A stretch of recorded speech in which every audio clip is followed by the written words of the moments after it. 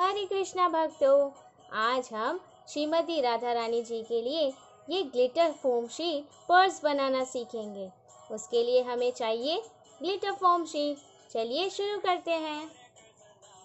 आज हम एकादशी व्रत के महात्म्य के बारे में चर्चा करने का प्रयास करेंगे।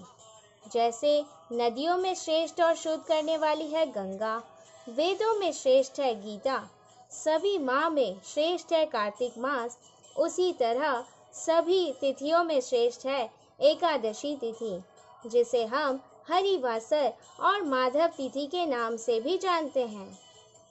एकादशी का अर्थ है अपने ग्यारह इंद्रियों के माध्यम से अपने को प्रभु श्री कृष्ण के चिंतन में लगाना। वह ग्यारह इंद्रियाँ क्या है? पाँच कर्मेंद्रियाँ, पाँच ज्ञानेंद्रियाँ और एक मन।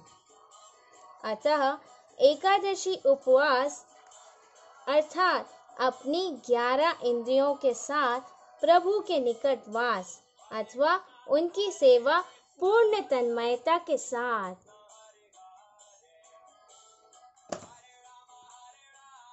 इस तरह से हम इसे स्टिक कर लेंगे दोनों साइड से।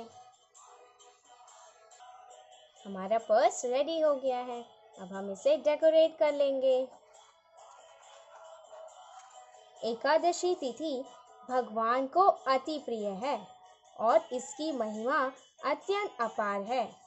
जो लोग यह उपवास करते हैं, भगवान उनके सारे पापों को नष्ट करके अपना वैकुंठ धाम उनके लिए सुलभ कर देते हैं। इसके अलावा जो वैष्णव आचार्यों का अनुसरण करते हैं उनके लिए तो ये उपवास भगवत प्रेम प्रदान करने वाला है। इस दिन अन्न में पाप का निवास रहता है, इसीलिए हमें अन्न ग्रहण नहीं करना चाहिए। और वैज्ञानिक दृष्टि से भी अगर लोग पंद्रह दिन में एक बार उपवास करते हैं तो उनका शरीर स्वस्थ बनेगा और नई रक्त कोशिकाओं का भी संचार बढ़ेगा। तो देखिए, हमारा पर्स कुछ ऐसा दिखेगा डेकोरेट करने के बाद। अब हम दूसरे टाइप का पर्स बनाएँगे।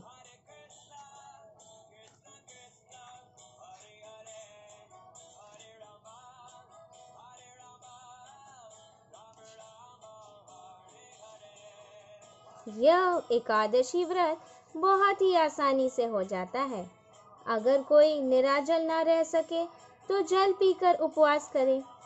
जल पीकर भी ना रह सके तो फल प्रसाद ग्रहण करे।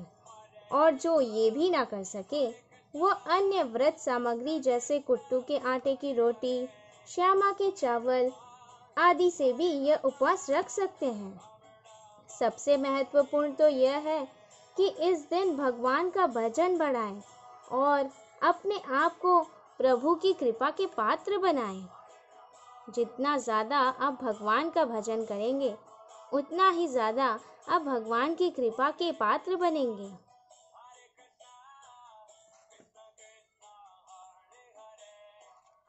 इस तरह से हम एक और सर्कल इसके ऊपर स्टिक करेंगे। इस तरह से। तो देखिए भक्तों, ये कुछ इस तरह का दिखेगा।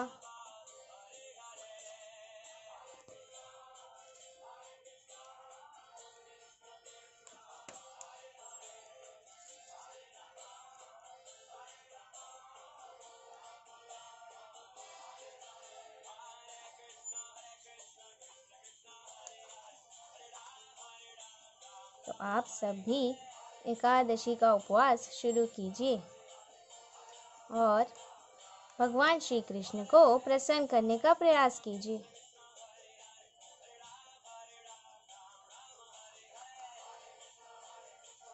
अब हम इस पर्स को भी डेकोरेट कर लेंगे। तो भक्तों, हमारा ये पर्स भी डेकोरेट होने के बाद कुछ ऐसा दिखेगा। आप भी कुछ ऐसा ही। श्रीमती राधा रानी के लिए ट्राई कीजिए। और इसमें आप उन्हें कुछ भी भर के गिफ्ट कर सकते हैं। तो हमारे दोनों पर्स रेडी हो गए हैं। आप भी ऐसा कुछ ट्राई कीजिए। और अपने व्यूज़ हमारे साथ ज़रूर शेयर कीजिए। साथ ही एकादशी का व्रत पालन पूरी श्रद्धा और प्रेम के साथ करना ना भूले। हरे कृष्णा।